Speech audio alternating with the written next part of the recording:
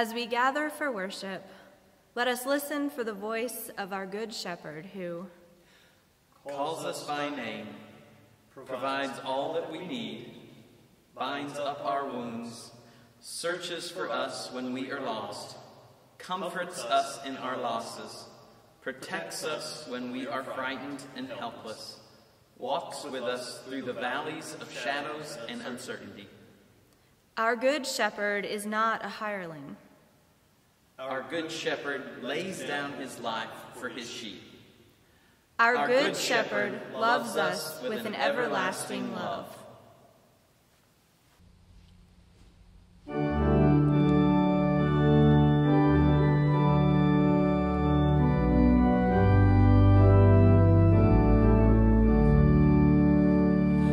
Blessed assurance, Jesus is mine.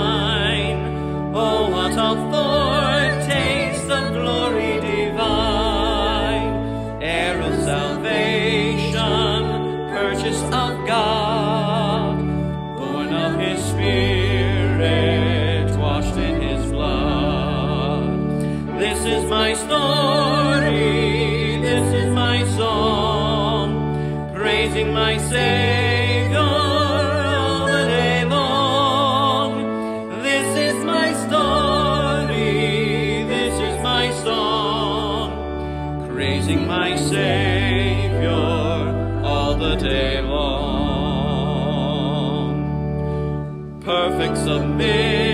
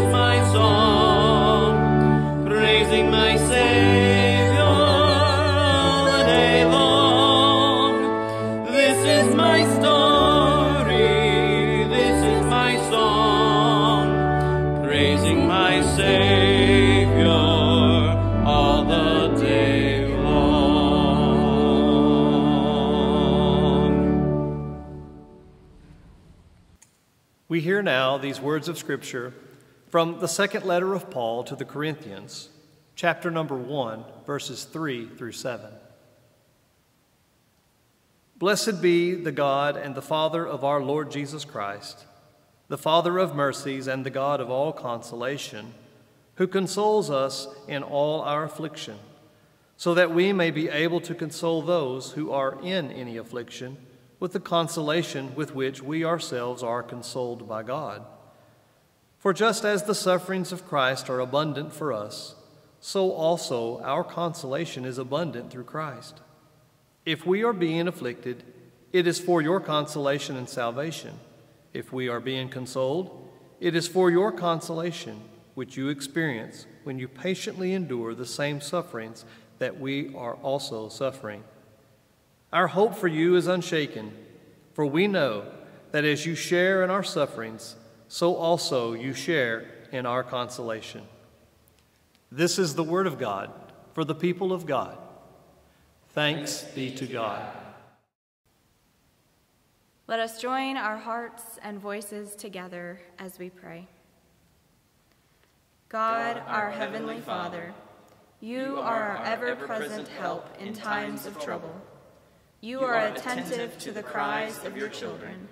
Compassionate is your heart, gentle is your touch, This morning we are worshiping you in our homes. We feel distant from one another, for we have not been together in a long time. And we know that troubles and sorrows have overtaken some of our friends, for that is life. As Jesus intercedes for us in your presence, O God, may our friends who are lonely experience your abiding presence and steadfast love. May our friends who are sorrow filled feel your tender and comforting embrace. May our friends who are sick sense your healing touch and power. May our friends wrestling with dark moods lift up their heads to glimpse the light of your hope and peace. May our friends who are afraid know that you are their guardian and protector. May our friends who are struggling with decisions receive the gifts of your wisdom and guidance. God, our Heavenly Father, remind us all today that there is absolutely nothing we may face or experience in this life that has any power to separate us from your love revealed in Jesus the Son. Assure us that at all times and in every circumstance, you are our God, who is for us. Jesus is our Christ, who is with us. The Holy Spirit is our Comforter, who is within us. Amen.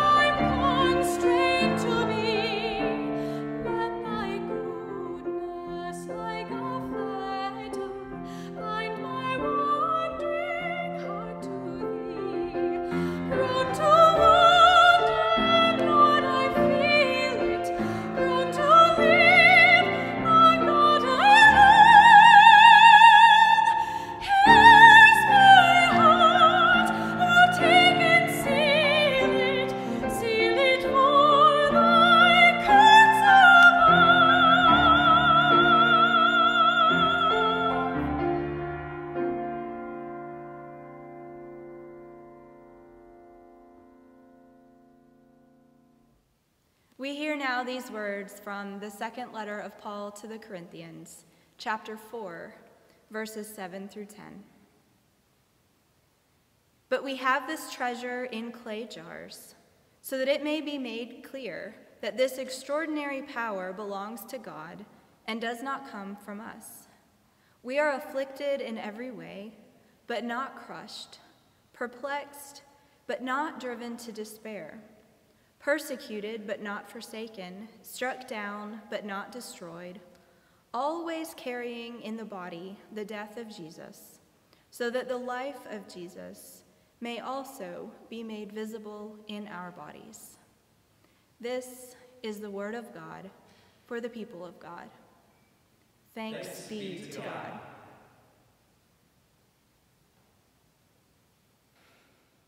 My grandfather was diagnosed with lung cancer in November of 1980 when he was 83 years old.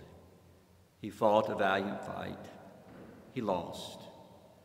In August of 1981, I spent five days with him at Spartanburg General Hospital. I came home from New York to be with him because his doctors did not expect him to survive that week. One day, when we were alone, he offered me these words of wisdom. Son, he said, you have a hard time getting into this world. You have a hard time making it in this world. And sometimes you have a hard time getting out of this world. Hard times are hard. He lingered until December of that year. I've never forgotten those words of wisdom. Hard times are hard. And across the years, I've learned a few things about hard times. No one escapes hard times. They come as part of the package of what we call life. Hard times befall us for all kinds of reasons, and sometimes for no reason at all. Sometimes we contribute to our hard times. At other times, we are collateral damage or unintended consequences to another person's contribution to their hard times. Hard times fall upon good people and not so good people. Hard times come to people with lots of money and connections, and to people with little money and few connections. Hard times derail the lives of the healthy and the vulnerable. Hard times come to faithful people, and they come to people who have no faith at all. Sometimes hard times come and there is something or someone to blame, and sometimes there is nothing and no one to blame. Hard times come and go, hard times come and stay. Hard times are reality of life. People of faith are not immune to hard times. They come into our lives with the same frequency and intensity as anyone's. God does not keep us from hard times. People of faith are at risk in the world just like anyone else. People of faith are surprised and blindsided by hard times too. I think that is what Paul is attempting to say to those Christians in Corinth so long ago. He does not deny hard times, afflictions, and sufferings. He does not explain why people face hard times. He does not attempt to blame anyone for hard times. Apparently, Paul sees hard times, afflictions, and sufferings as part of the web of life, and he has a unique perspective on hard times. Paul believes that hard times, afflictions, and sufferings come so that we may experience God. We experience God with us as the Father of all mercies and comfort and consolation. We experience the sustaining grace of God that is sufficient to help us meet the hard times of any given moment. Hard times are not an indication that God has abandoned us. Quite the contrary. In the midst of hard times, we experience the mercy and grace of God.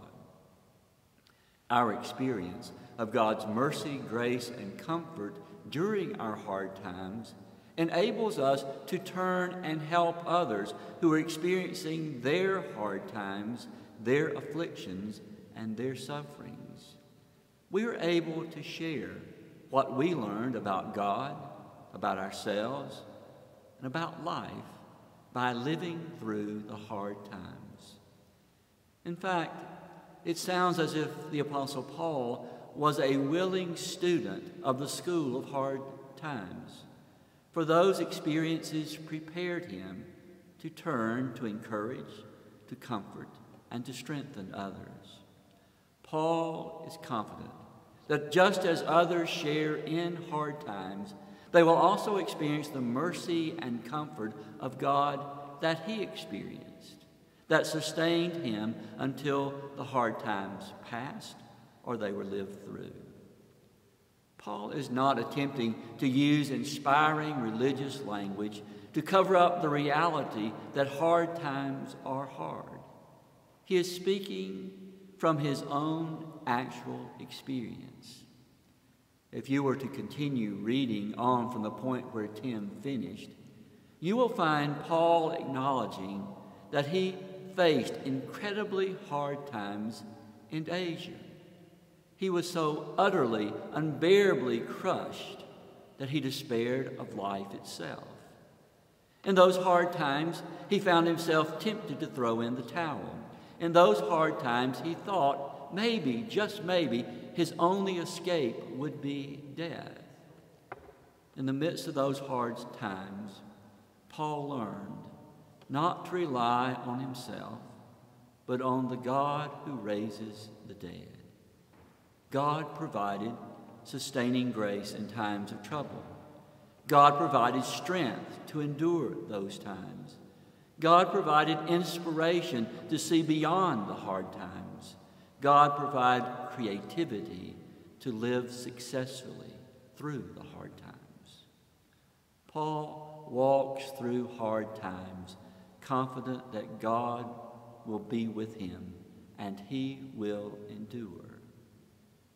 Paul did not allow himself to become fixated on how bad or how unfair hard times were, but he places his trust in God, who shares our human sufferings through Jesus the Christ.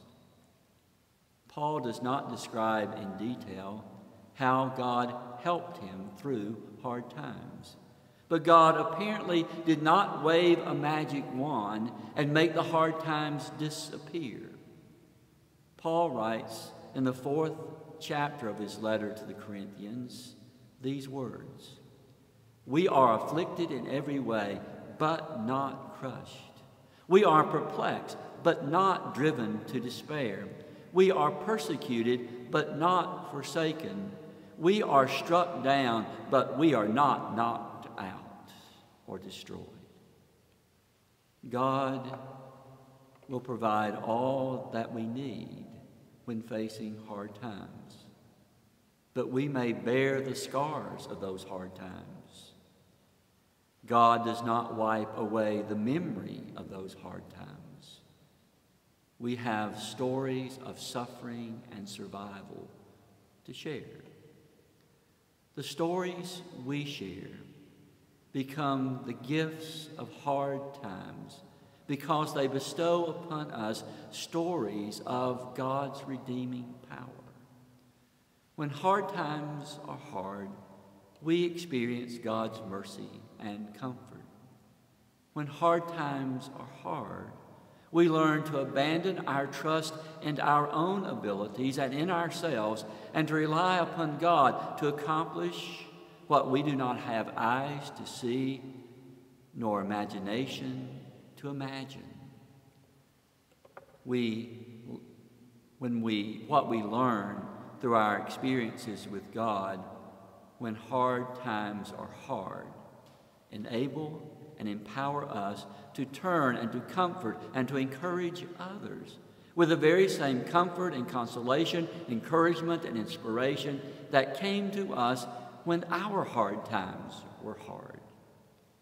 We share our stories of healing, of redemption, of salvation, of restoration, of recovering the joy of living.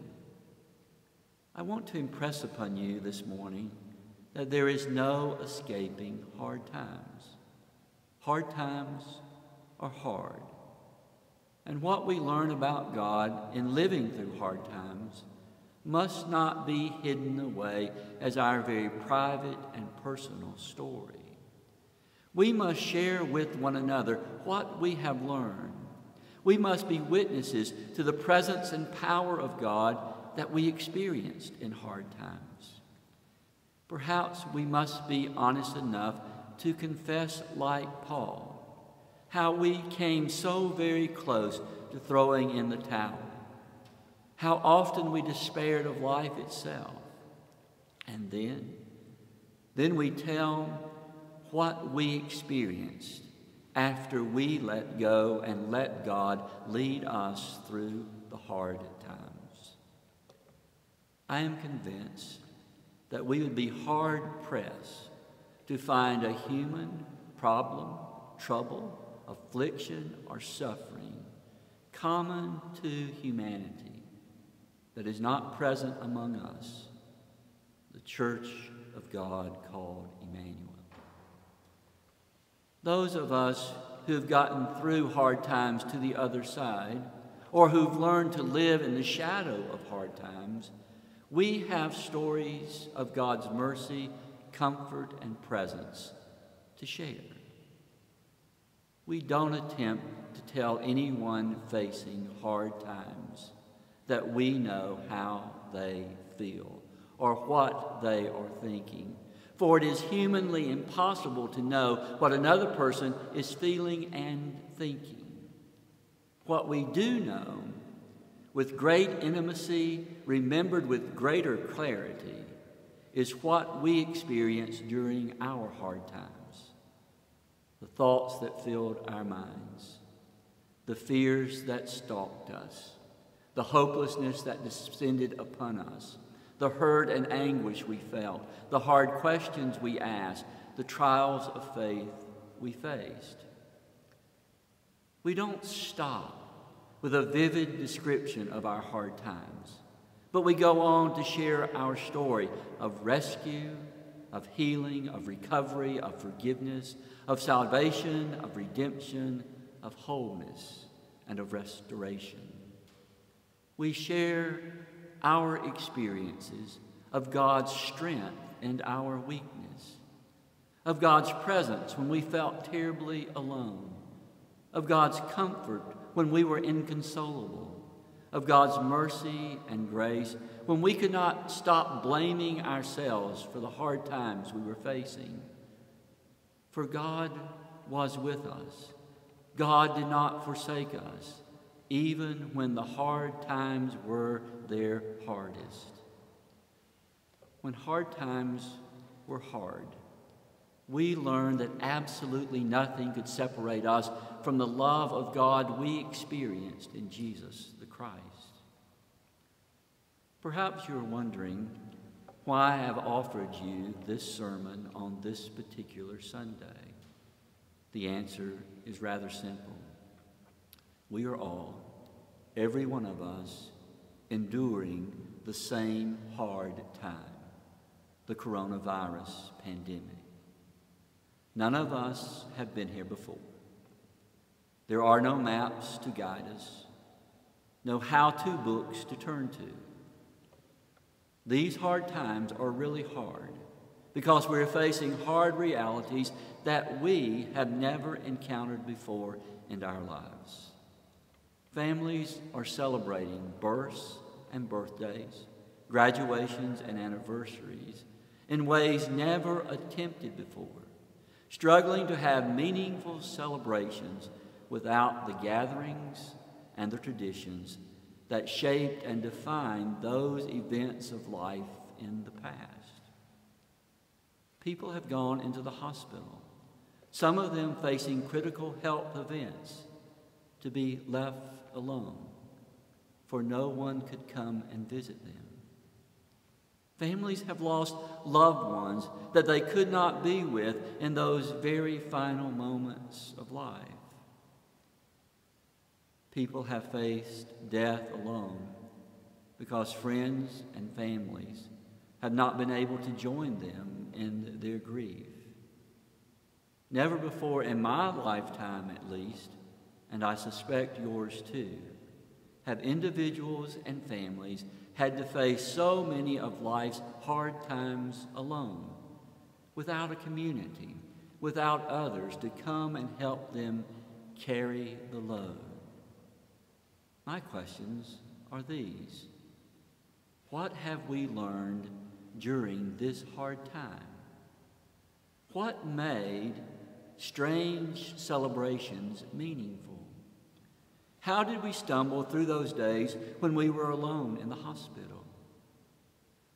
How are we limping along since we last stood alone at that graveside.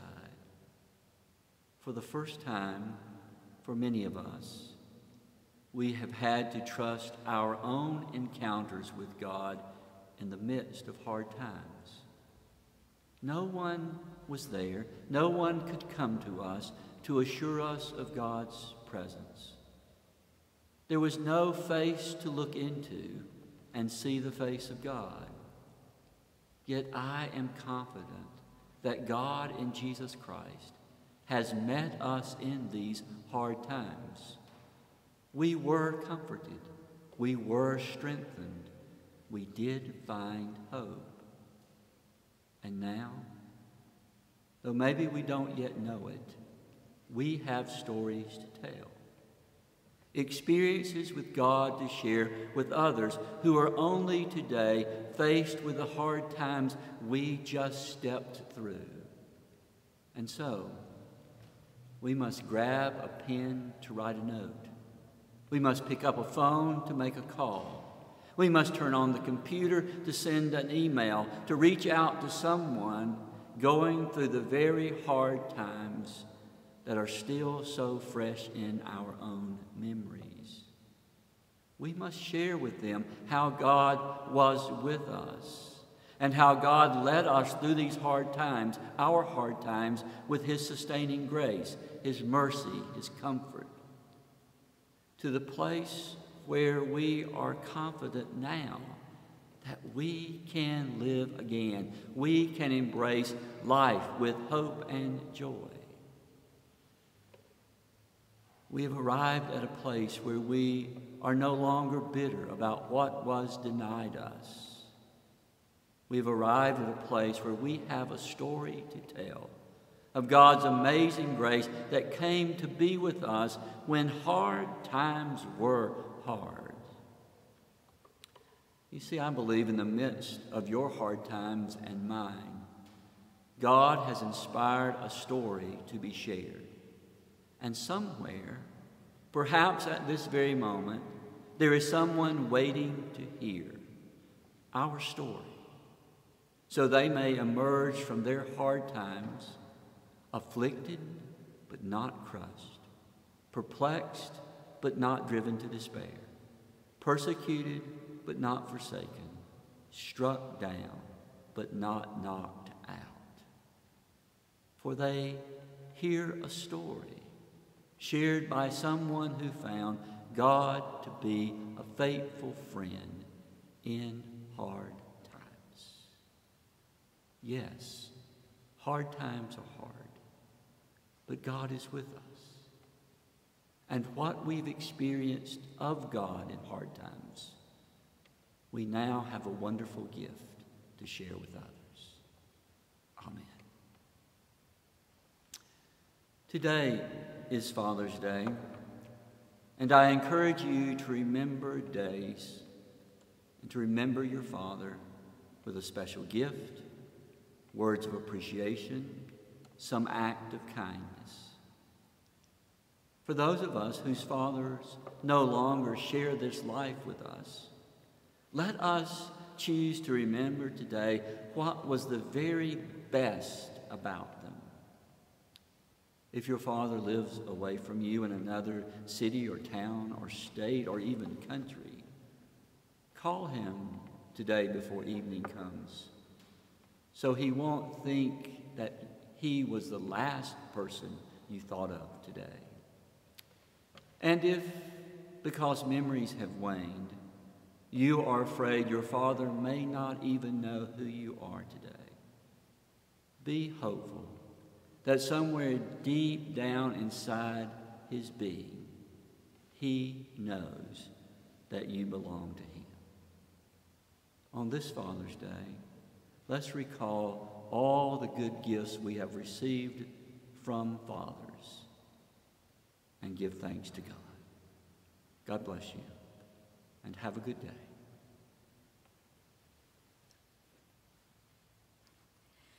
The way is long. Let us travel together. The way is hard. Let us help each other. The way is joyful. Let us celebrate together. The way is Christ, for Christ is the way. Let us follow him. The way is there for us. Let us go. With the peace of God, the love of Christ, and the sustaining presence of the Holy Spirit. Amen.